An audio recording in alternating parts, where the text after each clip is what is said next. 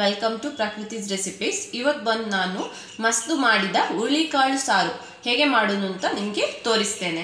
ಒಂದು ದೊಡ್ಡ ಗ್ಲಾಸ್ ಅಷ್ಟು ಹುರುಳಿಕಾಳು ತಕೊಂಡಿದ್ದೇನೆ ಹುರುಳಿಕಾಳನ್ನು ಇಂಗ್ ಅರಶಿನ ನೀರು ಹಾಕಿ ಬೇಯಿಸಿಟ್ಕೊಂಡಿದ್ದೀನಿ.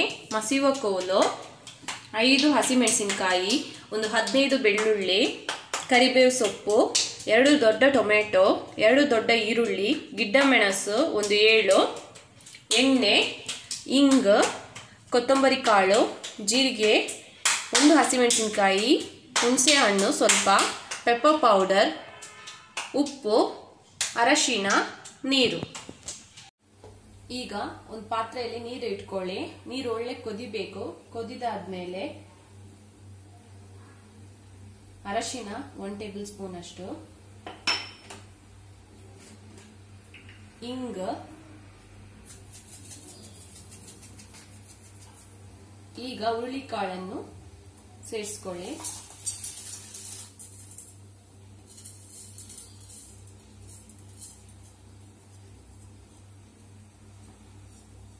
ಸೇರಿಸ್ಕೊಂಡು ಒಳ್ಳೆ ಬೇಯಿಸ್ಕೊಳ್ಳಿ.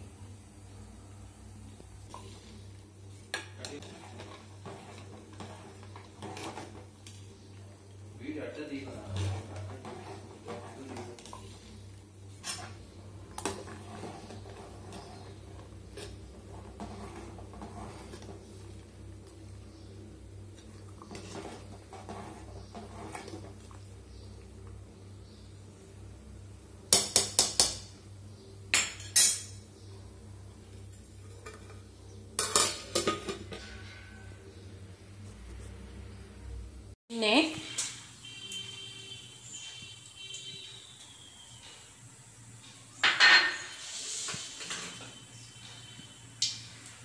ಧನಿಯಾ ಒನ್ ಟೇಬಲ್ ಸ್ಪೂನ್ ಅಷ್ಟು.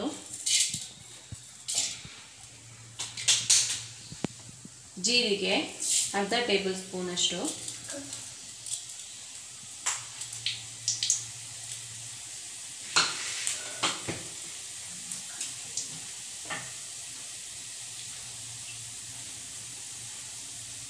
ಒಳ್ಳೆ ಫ್ರೈ ಆಗಲಿ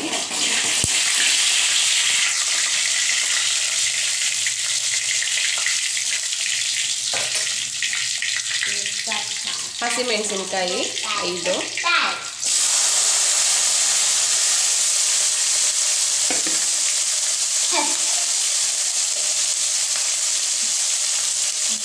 ಗಿಡ್ಡ ಮೆಣಸು ಏಳು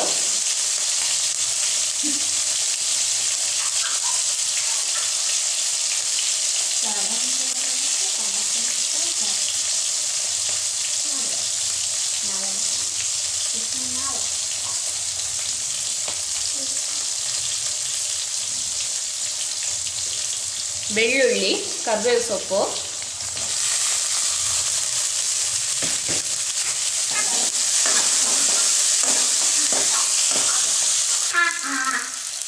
ಈಗ ಎರಡು ದೊಡ್ಡ ಈರುಳ್ಳಿ ಆ್ಯಡ್ ಮಾಡ್ಕೊಳ್ಳಿ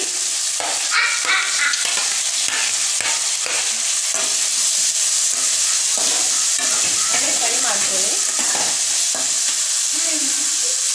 ಉಪ್ಪು ಸೇರಿಸ್ಕೊಳ್ಳಿ.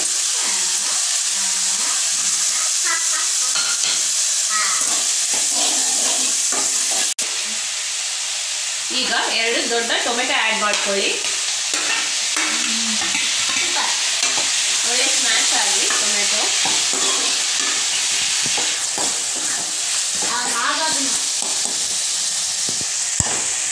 Pepper powder half tablespoon add ಮಾಡ್ಕೊಳ್ಳಿ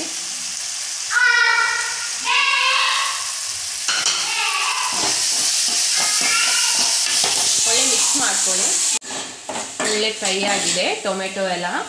ಈಗ ಇದನ್ನು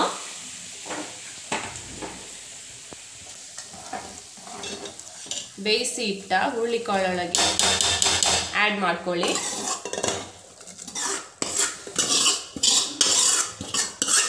ಆ್ಯಡ್ ಮಾಡ್ಕೊಳ್ಳಿ.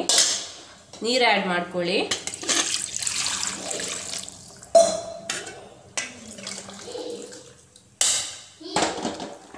ಒಳ್ಳೆ ಮಿಕ್ಸ್ ಮಾಡಿಕೊಂಡು ಇದೆಲ್ಲ ಒಳ್ಳೆ ಬೇಯಬೇಕು.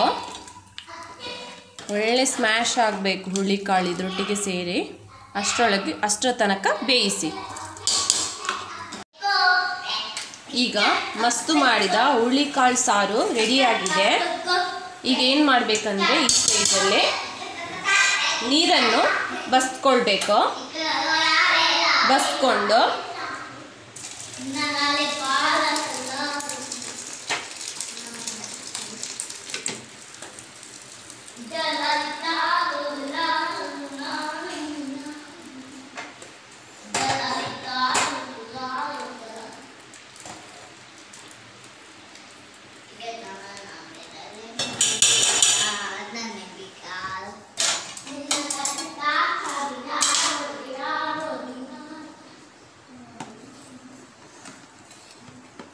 ಇದಕ್ಕೆ ಒಂದು ಹಸಿಮೆಣಸಿನ್ಕಾಯಿ ಒಂದು ಹುಣಸೆ ಹುಳಿ ಸ್ವಲ್ಪ ಹಾಕಿ ಒಳ್ಳೆ ಮಿಕ್ಸ್ ಮಾಡಿ ಇದರ ಸಾರು ರೆಡಿ ಆಯಿತು.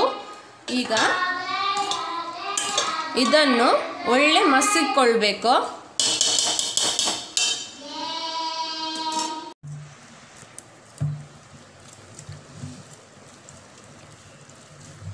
ಈ ಥರ ಒಳ್ಳೆ ಮಸ್ಕೊಳ್ಬೇಕು.